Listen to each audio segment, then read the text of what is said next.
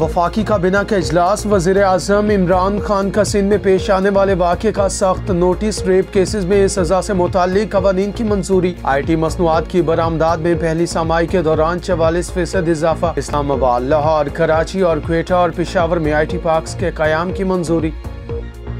Army chief general Qamar Javed Bajwa का सबक naval chief फसी बुखारी के इंतकाल पर ताज़ियत का इजहार।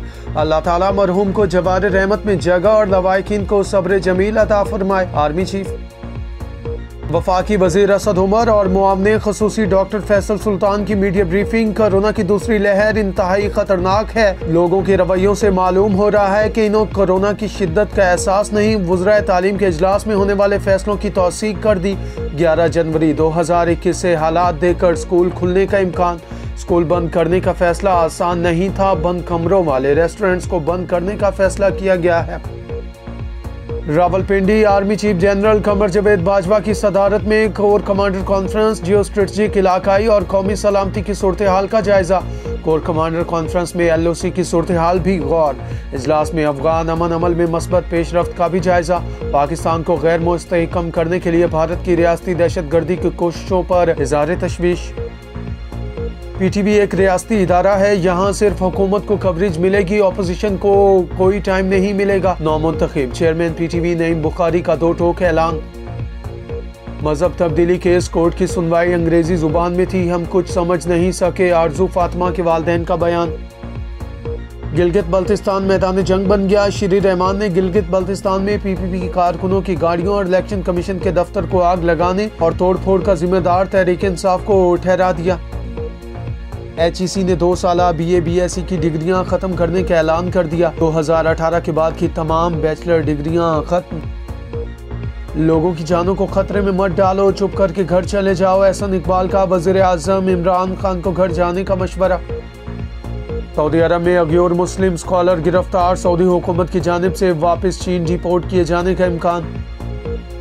पंजाब में तारीख की सबसे बड़ी रिकवरी लौटा हुआ पैसा वापस मिलना शुरू। पच्चीस अरब से जायद रकम रिकवर करके कौमी खजाने में जमा। रूसी हैकर्स की जानब से पी आई ए का डेटाबेस और नेटवर्क मुबैना तौर पर हैक और डार्क वेब पर ब्राय फरोख सलमान तासीर के खिलाफ मैंने जलूस निकाले, आसिया को मैंने गालियाँ दी, मेरी ज़्यादा खिदमात हैं। खादिम रिजवी को कुछ पता ही नहीं था। मैं ही असल मास्टर माइंड था, साद रिजवी अनपढ़ और नशई है। हाफिज भी नहीं जहनी तौर पर बीमार है। ये कैसे पूरी तहरीक चला सकता है? Pir Afzal Qadri P D M दरअसल ग्यारह गंजे हैं जो कंगे के लिए लड़ रहे हैं। फवाद चौधरी। पंजाब काबीना ने शहबाज शरीफ और हमजा शहबाज को पैरोल पर रिहा करने की मंजूरी दे दी।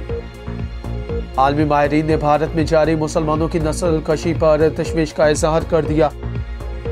पाकिस्तान के एक और एजाज वर्ल्ड इकनॉमिक फोरम ने 25 नवंबर को पाकिस्तान स्ट्रेटजी डे मनाने का ऐलान कर दिया। वज़ीर अजम इमरान खान की कोरोना की पहली लहर के दौरान कामयाब इकनॉमिक पॉलिसियों के बायस पाकिस्तान पहला मुल्क बन गया। पाकिस्तानी तलबा के लिए अला तालीम का सुनहरी मौका एच ई सी ने हंगरी में तालीम के लिए स्कॉलरशिप्स का ऐलान कर दिया। वज़ीर अजम इमरान खान ने ज्यादती के मुजरमों को नामर्द करने के कानून की मंजूरी दे दी।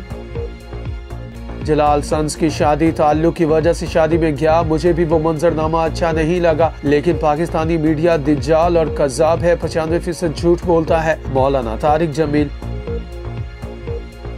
वज़ीर आज़म इमरान खान का सनतों की बहाली का वादा, वफा हो गया। टेक्सटाइल इंडस्ट्री के लिए हुकूमती रिलीफ पैकेज ज़बरदस्त इकदाम साबित। कपड़े की डिमांड तारीख की बुलंद तरीन सतह पर पहुँच गई। सत्तर करोड़ मीटर कपड़े की कमी का सामना।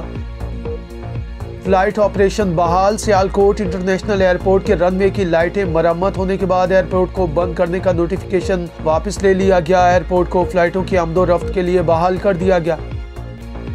आजरबाईजान के सदर और इनकी एहलिया ने आर्मीनिया से हासिल किए गए इलाके अकदाम की एक मस्जिद का दौरा किया और दुआ की। छः हफ्तों पर मुआद जंग के बाद होने वाले माहे में आर्मीनिया ने तीन अजला को आजरबाईजान के हवाले करने पर आमादगी ज़ाहिर की थी।